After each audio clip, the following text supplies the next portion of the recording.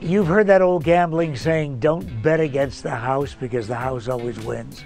Well, let me tell you about a house where everybody wins. The house, the house, Old Town Brasserie. That was a winner as soon as the Zinc Bistro and Mission people opened it on Main Street in Scottsdale. And you'll feel like a winner just as soon as you see the menu. They call it modern American fare, cutting edge concepts with a little of grandma's kitchen. For example, you like clam chowder? How about corn chowder? At the house, they serve smoked clam and corn chowder with Tabasco and Benton ham. How about this for a combination of flavors?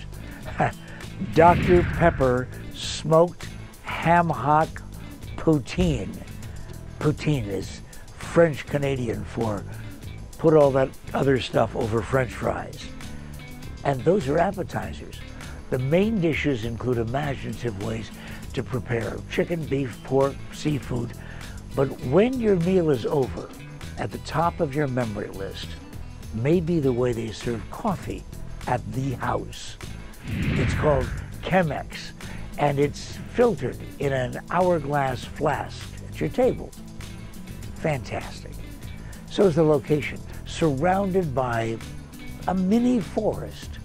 It's one of the oldest houses in Scottsdale, but just call it the house. I'm Pat McMahon. Let me know where you want me to review.